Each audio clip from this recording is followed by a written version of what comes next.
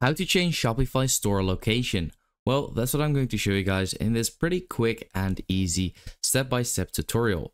So if this video was helpful, then please do let me know in the comments and let's get started. Now, if you would like to have your first three months of Shopify for only $1 per month, then you can actually click on the link in the description of this video.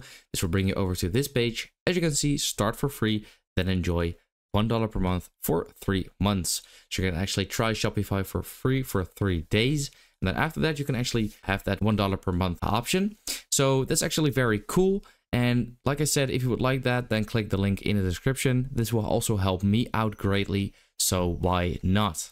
So I'm over here in the homepage on Shopify, as you can see. And if you would like to change your store location, all you basically want to do is open up the settings in the bottom left corner.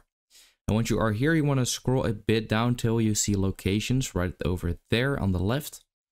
And once you are here, it says manage the places you stock inventory, fulfill orders, and sell products.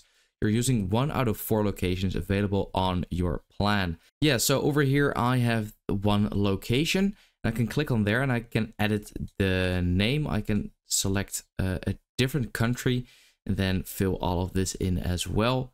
And then hit save. Or what I can actually do is add multiple locations. So I can, for example, add another one by clicking on there. And then I can, for example, set the location to just a, a random country real quick, just to show you guys.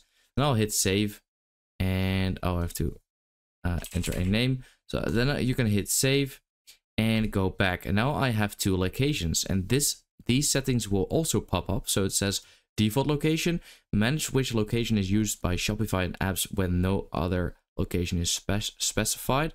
So you can um, select a location so you can choose which one. So I'll just go ahead and choose that one. And then um, location priority, choose which locations are assigned new orders first.